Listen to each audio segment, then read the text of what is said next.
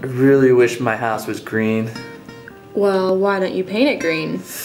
Ooh, uh, couldn't do that. Nope, nope, can't. Well, I mean, why don't you go to the store and get some paint and paint your house? Uh, no, no, not, no, I can't do that. Nope. All right. Hey, you want to go to the bowling alley?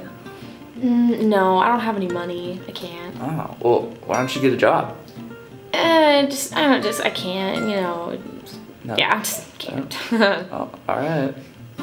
right, have fun. Goodbye.